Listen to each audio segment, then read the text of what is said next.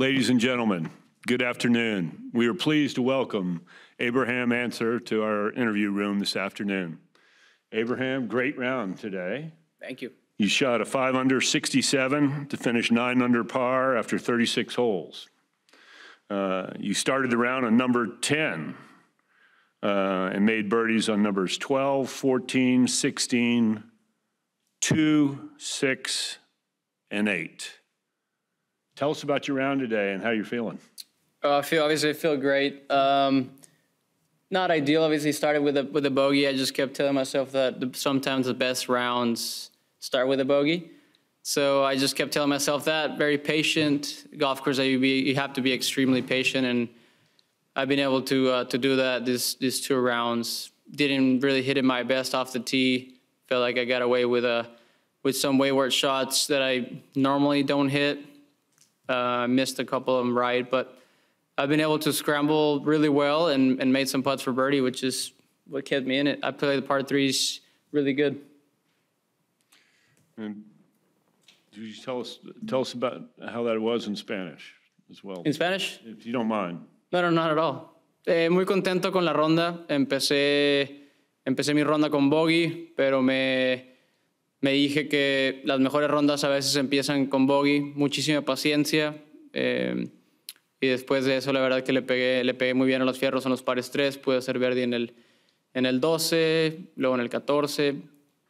Y de ahí me, me calmé un poco y empezamos a, a jugar muy sólido. Tuve varios tiros con el driver que la verdad no me gustaron para nada, que fallé muy a la derecha o corto de la derecha, pero de ahí en fuera la verdad que rescaté muy bien esos tiros y la estoy rodando muy bien. Once again, great round. Thanks for being here. We're gonna. Would you like to take a few questions? Of course, yeah. Ben. Abraham, can you just speak to how your time in Melbourne with the international team has steeled you to become a better player, your performance there, and also how last week's uh, Carlos Ortiz win has maybe inspired you as well? Ooh, sorry, I didn't really get to, I didn't hear you very well. I know, that was terrible. okay, speak to your time in the President's Cup international team for your confidence that you were building before that, and then how you performed there, and also how Carlos's uh, win last week may have inspired you as well.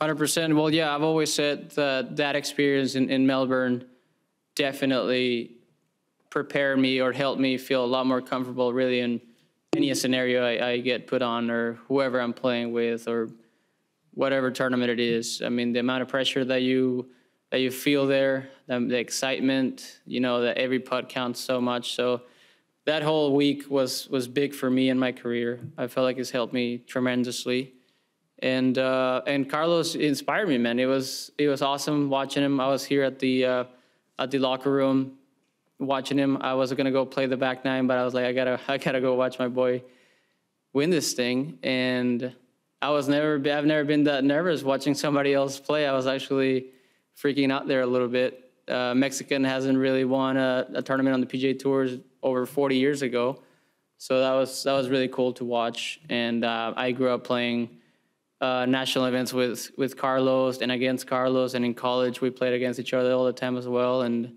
we're great friends. His caddy Eduardo is one of my good buddies as well. We were we were teammates in college, and it was awesome. I got pumped up. I after uh, that day I ended up uh, practicing until dark here. I was I was really excited and motivated me too.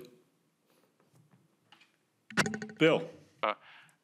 Abraham, uh, I know it's been a long time, but, uh, uh, and, and it's been a longer way than it would have been in a normal year, but uh, do- what was it like to receive that invitation in the mail uh, that you were invited to play in your first Masters? It was awesome. I actually have it framed in my house, so it's right there in my in my living room, and it's something that I dreamt since I was a little kid to play here. So I was uh, really really excited to be here. My first time ever. Not I've never been to the tournament or watched or anything. Was last week. Um, I played with with Nick Evans. Member out here is awesome. I mean, I couldn't pick the, a better guy, and well, I mean, it's lucky he picked me. I guess I didn't pick anybody, but um, it's it's been amazing, and I know maybe it's not the same as in, in, in April, or but I mean it's it's incredible, and I, I love it out here. I love the golf course. I think uh, I mean this is probably one of my favorite the favorite places in the world. if I could just follow up, when was, the- when did you receive that invitation? Do you recall what month it was? What you, uh, Oof. Probably, I would be lying to you, but I think it would be maybe close to December, if I'm not mistaken. Nick? Yeah, kind of going off that, making your first appearance. You still played with a lot of poise out there today, uh, even with the bogey on 10 to start the round. Was there any pre round routine or pre shot routine you go through to kind of keep your mind right? Not really. I mean, today was obviously a little different since I played 25 holes. I had to finish my, my first round, and it was a little bit weird because I, I finished 11 yesterday, and that's when we got suspended. So I had to be patient because I three putted 11. I've been been putting really well, and I I felt like I hit two good putts, and I just didn't I didn't I didn't make the putt. So I was a little bit mad about that, and then we got called off. So I had to really be patient and know that. I mean, I, there's no reason. I mean, it's not going to help me if I'm going to be mad and coming back and thinking about that. So I just try to flush that out. And it's a challenging tee shot coming back and, and starting on 12. Um, but I managed to to hit the green and two putt, and from there it was just really, really nice and smooth sailing. I played really well, coming in with four birdies um, there in my first round. Then after that, I I just wanted to take that momentum to the next 18. Jeff? Abraham, I I guess your very first time on the course was last Wednesday, is that correct? Yes, yeah, I played 27 holes on Wednesday of last week. What, what were the very first impressions? And as a first timer here, can it be intimidating at all knowing all you have to learn about this golf course? You know what? I had a, I I just wanted to here and play the course and just have a good time, enjoy it. I was with a good friend, um, playing with. It was his first time as well, and obviously Nick Evans hosted us, which was awesome. And I just wanted to to get it out of the way. I didn't want to get here for the first time ever, being this week and being like you know really excited. I wanted to feel like I was here and I've been here before, and it was more of a normal. But um, I mean, the golf course is incredible. I wanted to keep on playing. I just ran out of time. Um, there were some tee shots, and the elevation changes are a lot more drastic than I would have imagined, or that I imagined on TV. That's what everybody's told me. But I mean, once you're here, you're like, wow, it is quite severe out there. And uh, there's definitely a couple shots that I didn't think it would be like that. For example, the second shot on 13. If you're, I mean, it's it's pretty tough unless you get it way past there and it's flatter, and you got a shorter iron. I mean, if you're trying to hit a four iron or a five wood or a, I mean, it's pretty it's pretty tough to to catch it right. So. All those shots seen on TV and, and growing up, now I'm like, wow, those were some some amazing shots. Yeah, man, we've received a remote question. And if you don't mind, please answer this in Spanish. Okay. What does your success this week mean for the game of golf in, Mex- in Mexico?